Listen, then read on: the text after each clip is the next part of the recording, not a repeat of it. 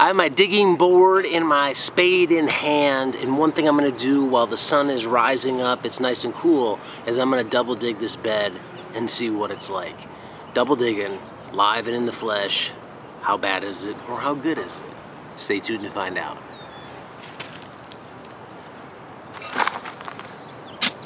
I recently just pulled the chickens out of this run. They're over there fixing up some gopher damage and I thought, I've been reading a lot of John Jeavons' work lately why don't I try double digging? Now this is the middle of summer, this is mid-June, and I realize this isn't the best time to do a double dig. I should be doing it in the fall or in the springtime, but you know, what's optimal? Why do this? For a few reasons. One, I want to see what the deal is about double digging. How bad or how good is it to do? Is it so intense that you'd only do it once and you never want to do it again? I don't know, I've never done it seriously, so I'm gonna do it on this bed, which is 24 inches by 16 and a half feet long, and I'm going to time it to see how long it takes. One thing I'm really curious about too is what does the soil look like down there? I've never actually gotten down there and dug a deep hole into the soil, and I'm curious to see what does that soil below me look like. So why not dual purpose things, get the double dig in and check out the soil in the process. It's double digging. I've been wanting to do this double dig for a few weeks now, but I needed to wait till the chickens were out of here to do it. One thing I want to try and do is incorporate all the manure that the chickens left on top down into the soil. That's one reason for timing it now. One thing I did too before I started this double dig is I made sure I put a string line on either side of my bed. A good visible string line. That way I'm digging in the bed, not the pathways themselves. I'm not doing extra work and I keep a hard edge on my bed which is ultimately what I want in the long term. Only took a few seconds, but I think it's worth it to take that extra step to keep it clean. Okay, here we go.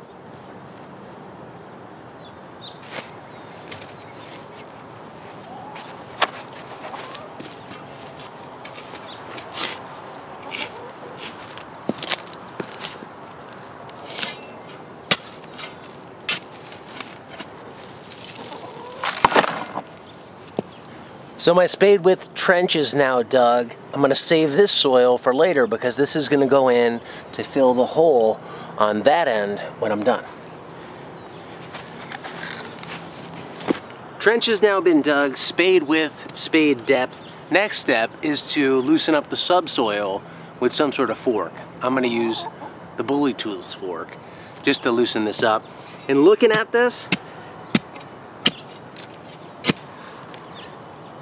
it's pretty compacted. It's fairly dry and it's pretty hard. There's a lot of clay fill below here that I put in and I think that's the layer that I'm getting into.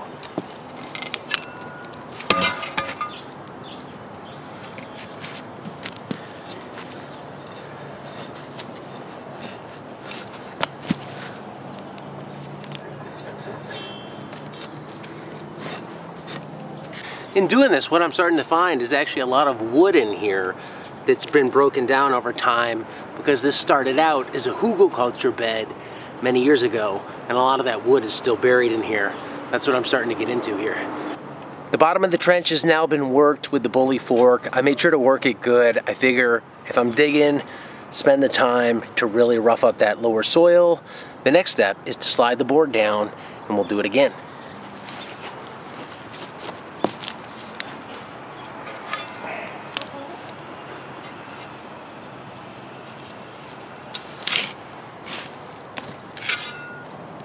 You can see some of the clay because I'm getting big clods like this out.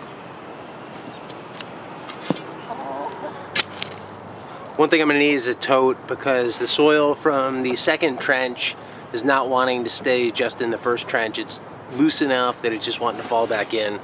So I'm gonna end up putting it in a tote. So here I am, 21 minutes into it. I'm sweating. It's getting tough. There's actually this big clay layer in the middle of this bed that I can't even get the fork into. So I'm gonna get a pick and a digging bar and just go to town on it. Like I said, I'm in here. I'm probably only doing this once. I might as well do it right.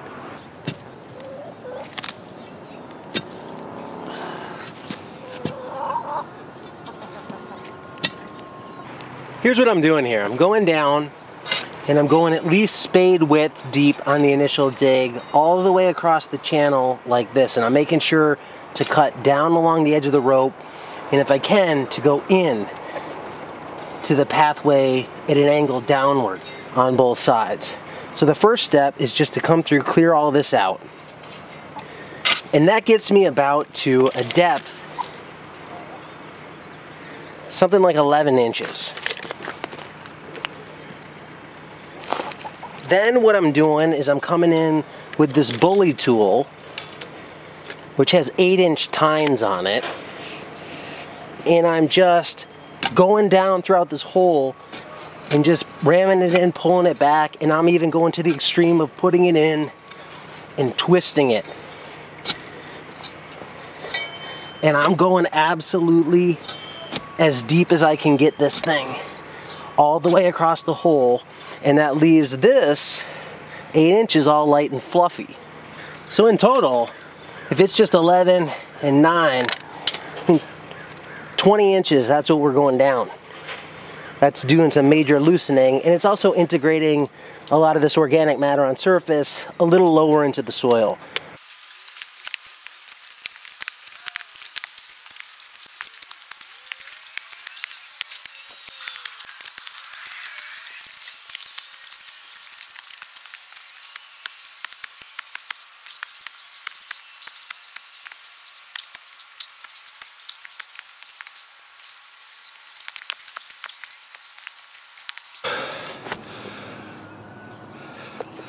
It's a workout.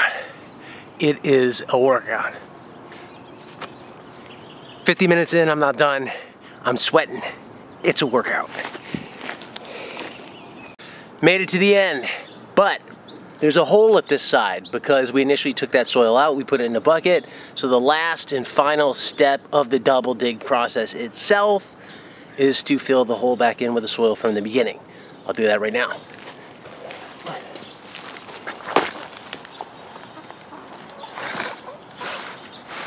Process is now complete. Let's see how long it took.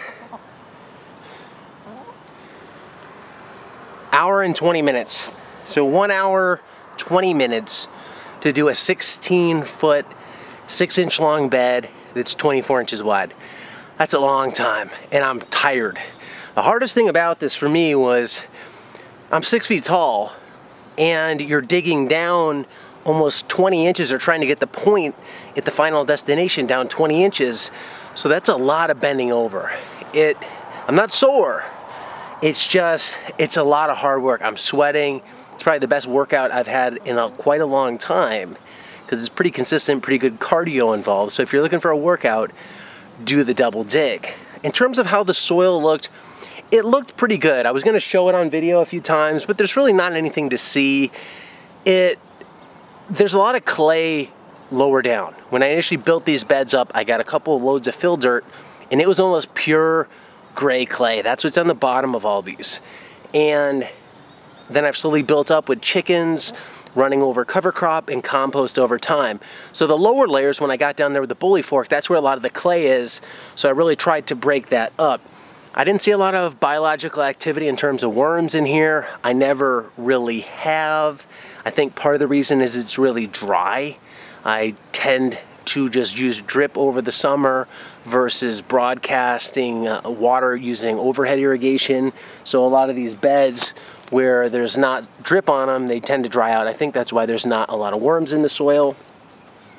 In regards to the clay itself, one thing I think is Clay is not going to change soil structure quickly without some human intervention. As much as we want to think cover crops and plant material and the bio biota in the soil are going to get down there and loosen up the clay, it's just not going to happen fast enough or on the time frame we want it to.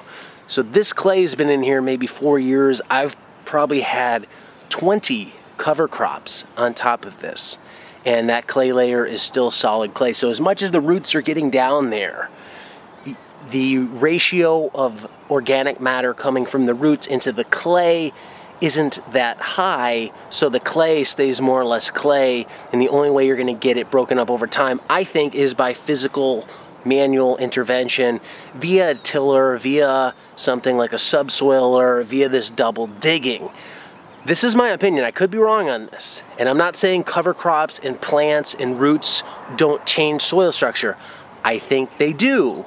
But I think it's over a long time period. And generally, for a lot of gardeners, a lot of market gardeners, you want results quicker. You can't afford to wait 10 years or 15 years for soil structure to change. So that's when you step in using inputs, materials like compost to change soil structure and tilth, or you use processes like double digging, or you use various tools like rototillers or subsoilers or broad forks to change the soil structure. And I'm curious to see now how this plays out. I may come back in and double dig this again in about six months closer to Christmas time just to see how the results are and how it looks. Right now, it seems pretty soft. I mean, those upper layers are really soft. I'll show you that in a moment. The lower layers are really soft, and I won't walk on these beds now anymore. I will just stay on the pathways. I'm not gonna bring a rototiller in here at all. And this is one thing that was interesting doing this is I was going way below the depth of a tiller. A tiller might go nine inches, maybe a little more, and I'm down 20 inches, really breaking up the soil. How are the plants gonna like this? I don't know. But the next step will be after all of this is to seed a cover crop in here and see how that grows. I'm gonna do that right after I get done filming this video. Here's a look at the finished bed after double digging. That process has all been over and it did what John Jeavons said it would do. It's mounded up because I've introduced a lot of air and void space into the soil it's fluffed it up. So what I'm gonna do now is go over this with a rake just to break up some of these bigger chunks that are in the soil still, things like this, and just to smooth out the profile a little bit. I'm gonna keep the raised shape because that's where it is, but I'm gonna at least flatten the top to make it easier to seed out.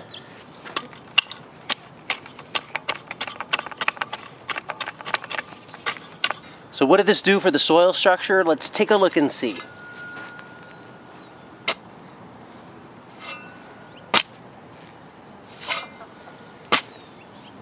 Pretty loose.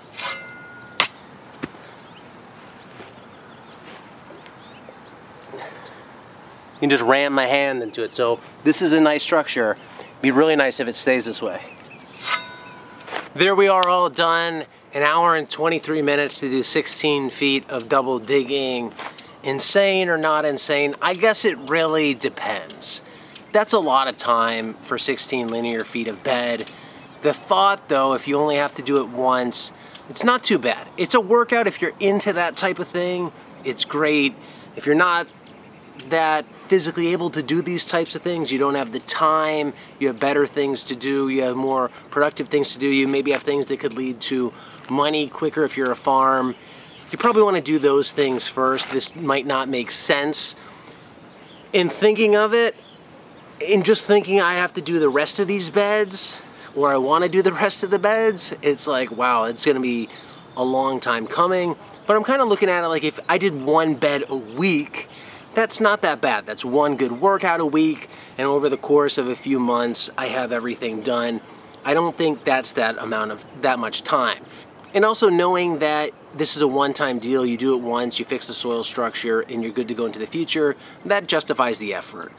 I like the idea of it. I can tell you for sure, just off initial look, the soil structure is a lot better. I think this is gonna help, but that's a think. We'll see now if it actually does help and how it holds up over time.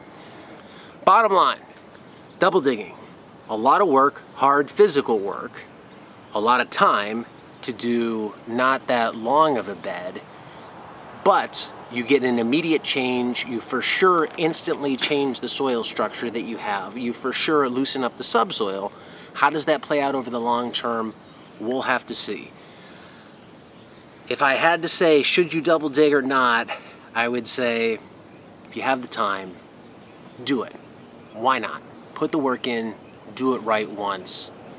But on the flip side, I get why people don't do it.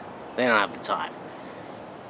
If you're interested, give it a shot. Check out John Jeavons' book. Highly recommended. Link to that below. Thanks for watching this one. Until next time, be nice, be thankful, and do the work.